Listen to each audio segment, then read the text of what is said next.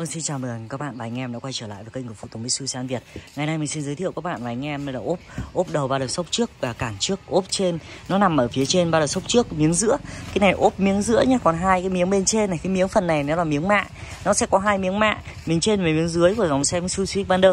Còn cái phần này là phần ốp bắt biển số. Cái biển số các bạn nó sẽ bắt đây. Ốp trên miếng ờ, miếng phía trước hoặc miếng giữa của dòng xe, miếng giữa trên nằm trên ba đợt sốc trước, cản trước của dòng xe Mitsubishi Xpander. Thì chất liệu cái này được làm bằng nhựa và nó ốp ốp để chúng ta bắt cái biển số vào ờ, của dòng xe Mitsubishi Xpander. Có anh em gọi là ốp bắt biển số đấy rồi là mỗi người một tên gọi, mỗi người một kiểu. Thì mình thì đa phần ngôn ngữ thông dụng nhất là ốp đầu và đợt sốc trước. Nó nằm ngay ở phía cản trước và đợt sốc trước thì gọi là ốp đầu và đợt sốc trước.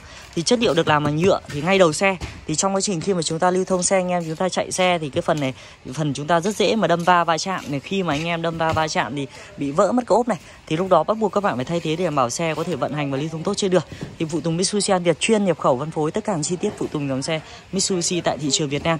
Vậy anh em nhu cầu của bạn vui lòng đến phụ tùng Mitsubishi An Việt website phụ tùng mitsubishi.vn. Anh em xem thấy hay thì nhớ nhấn like và đăng ký kênh để nhận thêm nhiều video mình sẽ review tất cả các sản phẩm phụ tùng dòng xe Mitsubishi này phục vụ anh em cách hoàn toàn miễn phí. Và các bạn đừng quên để lại bình luận phía bên dưới để chúng ta cùng nhau trao đổi về kinh nghiệm sử dụng và tất cả những chi tiết phụ tùng dòng xe Mitsubishi Pander này.